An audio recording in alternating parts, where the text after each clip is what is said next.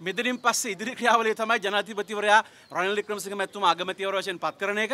ආණ්ඩු ක්‍රම ව්‍යවස්ථාව අනුව අමාත්‍ය මණ්ඩලයට අවශ්‍ය නම් යවන්නේ ජනාධිපතිට අග්‍රාමාත්‍යවරයා අග්‍රාමාත්‍යවරයා එක්සත් ජාතික පෙරමුණේ මන්ත්‍රීවරු අතරින් අමාත්‍ය මණ්ඩලයේ නම් කොට ජනාධිපතිවරයාට යවාවි. අද අපේ නීති විශාරදයෙන් අපිට ලබා දෙන උපදෙස තමයි තවමත් අගමැතිතුමාත් ඒ වගේම කැබිනට් මණ්ඩලයත් ඒ විදිහටම ඉන්නවා වැඩ කරන්න බැරි වුණත්.